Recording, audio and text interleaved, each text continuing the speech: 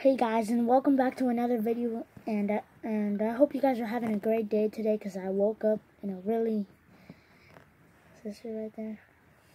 Cause I woke up in a really like really nice way. I'm having a good day. And today, um, what I'm gonna be showing you what I got is a Lord Steven Regal, but it's open.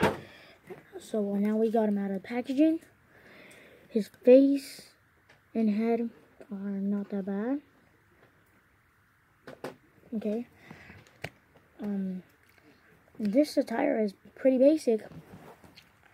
And uh, one of the only things that I like about this is um, uh, these boots that are that are um, uh, like pretty pretty they're pretty, pretty classic. So,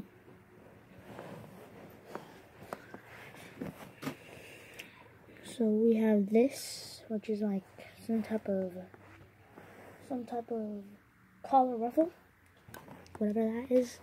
You're supposed to put it on the neck of a Lord Steven Regal. There you go. And the vest.